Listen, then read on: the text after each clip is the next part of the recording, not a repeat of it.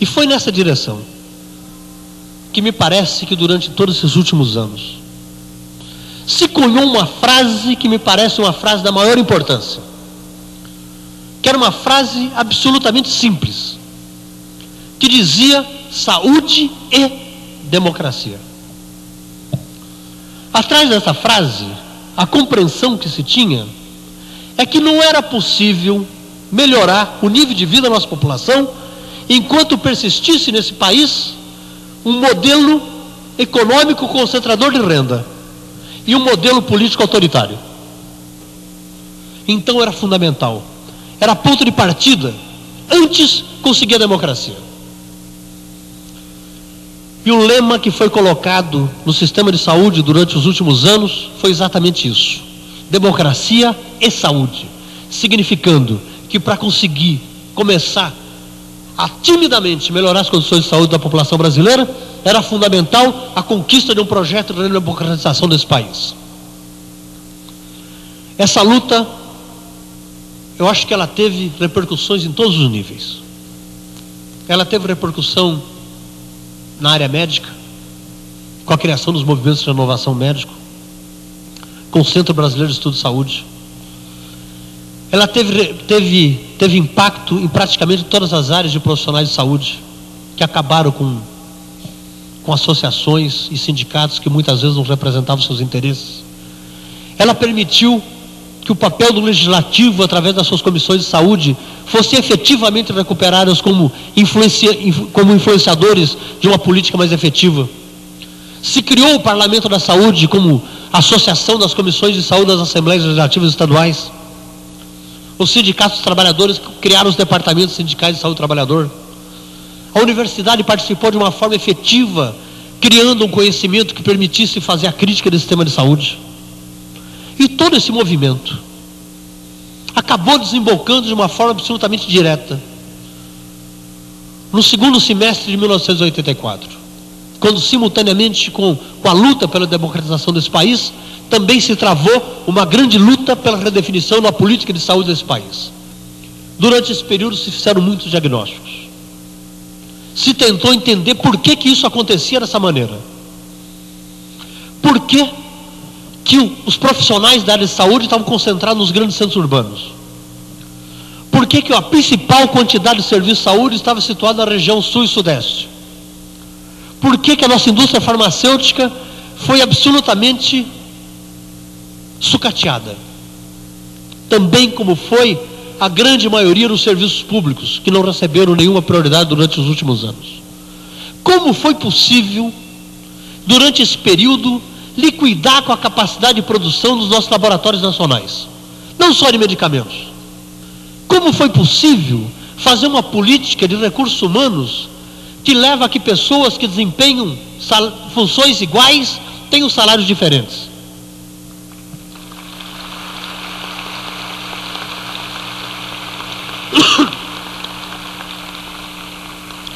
Como foi possível praticamente liquidar com a capacidade de investigação da nossa universidade? Como foi possível estabelecer relações tão difíceis, para não usar uma palavra pior, com o setor privado? Enfim, como foi possível durante esse período montar um sistema tão perverso de saúde que não atende o interesse de mais ninguém? Mas o momento de hoje, na realidade, não é o momento mais de repetir diagnósticos. Esse diagnóstico análise de qual o sistema de saúde do Brasil hoje, ele pode, com uma ou outras palavras, talvez ser repetido pela grande maioria das pessoas que estão aqui. Ele pode ser colocado pelo usuário como ao entrar num centro de saúde que só trabalha meio período, onde os profissionais são contratados por seis horas e trabalham só duas, em que a higiene se transforma numa verdadeira pocilga, onde falta medicamentos, onde o indivíduo não é tratado no mínimo da sua dignidade humana, que é ter nome e sobrenome, e que todos os homens são transformados em Zé e todas as mulheres em Dona Maria?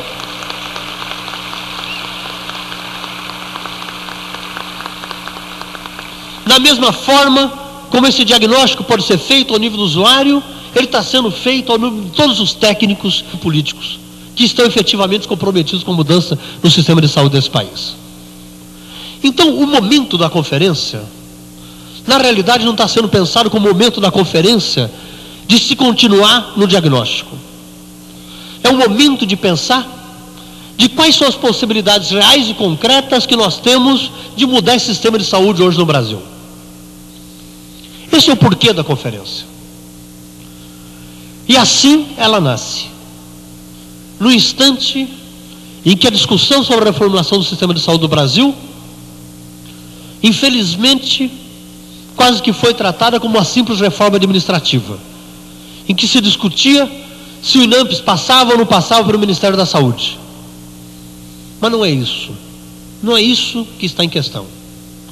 O que está em questão é uma coisa muito mais séria e muito mais profunda do que uma simples reforma burocrática administrativa. Para que não, se, não acontecesse nenhuma mudança durante o ano de 1985, e essa ideia foi uma ideia importante, apareceu uma crítica, que era uma crítica absolutamente séria, que o conjunto das propostas que estavam sendo feitas de reformulação do sistema de saúde ainda não tinham passado por um debate suficiente ao nível da sociedade brasileira. E que qualquer mudança no sistema de saúde não podia ser feita uma, uma mudança simplesmente por uma lei, mas tinha que ser uma mudança que acontecesse a partir do instante em que existisse uma consciência nacional tão profunda, tão séria, que se transformasse em desejo político. E um desejo político irreversível eu diria quase que suprapartidário, que levasse a essa noção, a essa identidade que o sistema de saúde brasileiro tem que ser mudado. Quando se teve essa compreensão, se chegou então à consciência que tinha que ser convocada uma Conferência Nacional de Saúde. Exatamente uma conferência que permitisse ampliação a nível nacional de todo o debate que durante o ano de 1985 talvez tenha acontecido ao nível das capitais e ao nível de alguns setores da sociedade brasileira. Então essa conferência nacional, ela não podia ser igual a outra.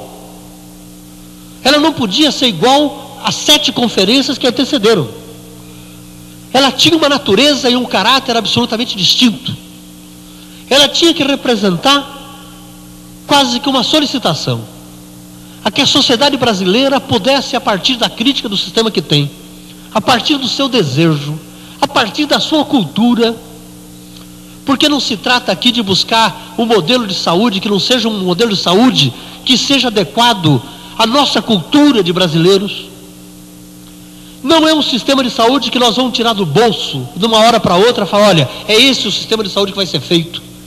É um sistema de saúde cuja experiência foi gerada nas experiências de trabalho comunitário ao nível de bairros, nas experiências que a igreja realizou em termos de trabalho, nas experiências que os sindicatos realizaram, na experiência que as secretarias de saúde estaduais e municipais enfrentaram no sentido de transformar esse sistema, na experiência, inclusive, que pessoas individuais, ao não assumir mais a convivência com esse sistema perverso, foram para qualquer lugar desse país e começaram a experiência concreta de tentar transformá-lo.